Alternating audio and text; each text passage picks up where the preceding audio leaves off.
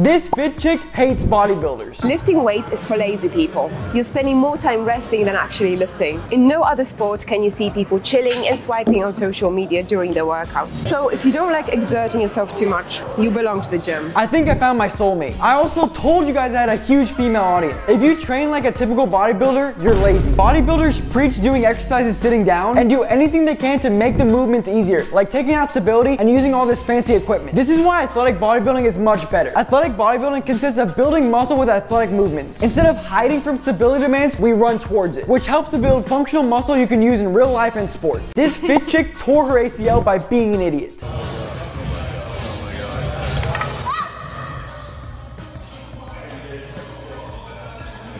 think I need a hand.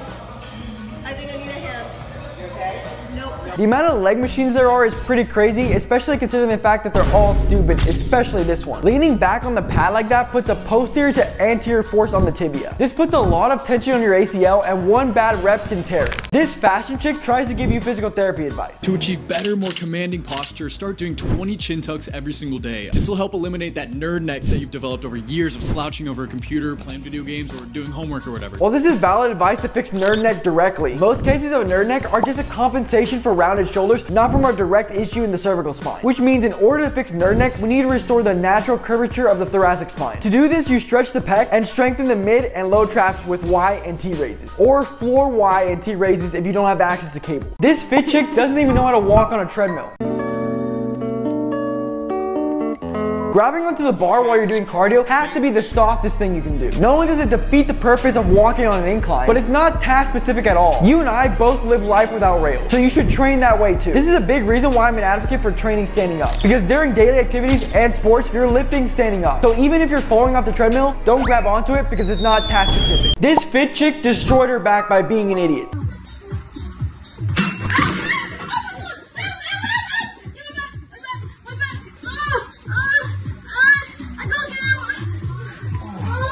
This machine is stupid and lazy. First, the center of mass displacement is completely unnatural, which is why she fold over like a pancake when the weights run home. Second, there's a fixed range of motion, so you get no stability benefits from the movement. Doing a more functional exercise like a normal squat is so much better. And you can do a front squat to target the quads and a low bar squat to target the glutes and hamstring. This fit chick needs to stop focusing on looking pretty and focus on performance.